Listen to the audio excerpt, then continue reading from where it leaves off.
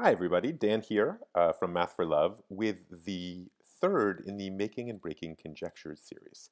Today, dot multiplication. And to start, I want to start with something really, really simple um, as a kind of motivating examples. So, addition, we understand it. 4 plus 2, if we want to do that, we all know it's 6. But we know something more, which is we can draw a picture of it. We can have 4 dots plus 2 more dots. We can count them all up. 1, 2, 3, 4, 5, 6. That's our answer. So we have a picture that goes with that equation. And that's nice to have. And if we wanted to, we could create a whole addition table and write the answers to any of those two numbers added together for as far as we wanted to go. In the same way, we understand multiplication. If we have 4 times 2, we can draw a picture for that also, which in this case would be a 4 by 2 array. Count all those dots. There's 8 of them. That's our answer. And we can use that picture of multiplication, the array, to calculate any two numbers multiplied to, together. We could make a multiplication table and extend that out as far as we wanted to go. So here is something new. I'm going to call it dot multiplication. Here's how it works. If I want to do 4 dot multiplied times 2, I'm going to take the first number, the 4, and I'm going to make 4 dots on the top of my picture. I'm going to take the second number, the 2, make two dots on the bottom of my picture. I'm going to connect up all of the top dots to the bottom dots with straight line segments, like so. And then I'm going to look at all of the points where those line segments intersect, and I'm going to count the intersections.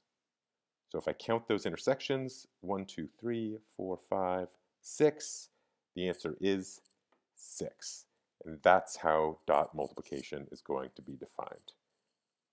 So I'm going to do another example in a minute. Right away, you might be like, oh, maybe you can just do, maybe 4 dot multiplied times 2 is just 4 plus 2, because 4 plus 2 is 6 also.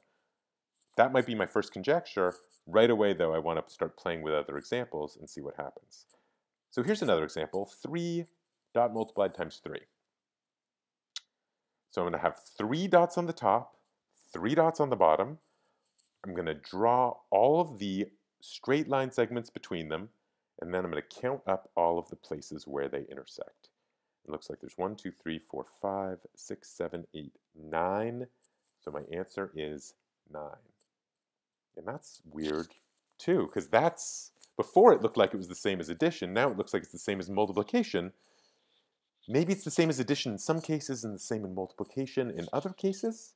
Maybe it has something to do with even and odd numbers, or just two and three. I'm not sure.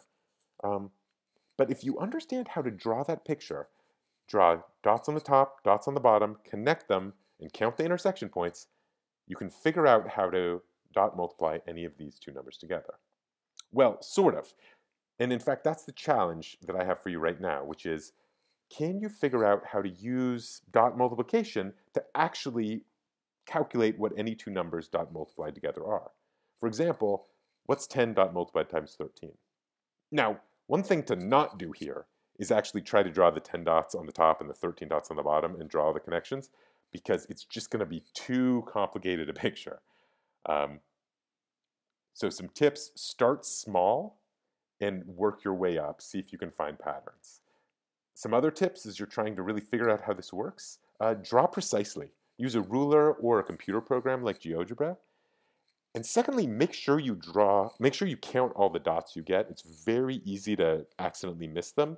Um, it should be, if you have a bunch of lines all crossing in the same place, you want to avoid that. You want to have each dot just come from one pair of crossing lines instead of a, a whole bunch. Um, another tip is you can actually just like we had addition tables and multiplication tables, we can make a dot multiplication table and look for patterns in that.